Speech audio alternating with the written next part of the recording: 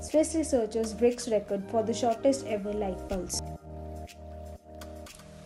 Swiss researchers have generated the world's shortest laser pulse, a 43 attosecond X-ray flash, beating the 53 attosecond record set by US researchers earlier this year.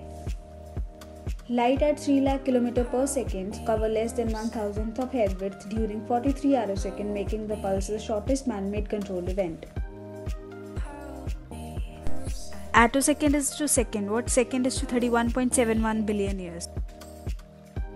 Such laser will help with observing electrons' movement during chemical reactions in slow motion.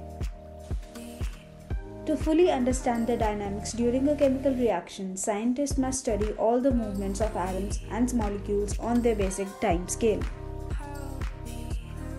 Molecules rotate in range of picoseconds that is 10 raised to the power negative 12 seconds.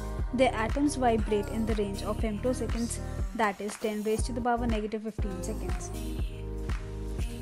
By generating shortest laser pulse with duration of only 43 attoseconds by ETH professor Hans Jakob Wörner and his group, researchers can now observe in high detail how electrons move within a molecule or how chemical bonds are formed.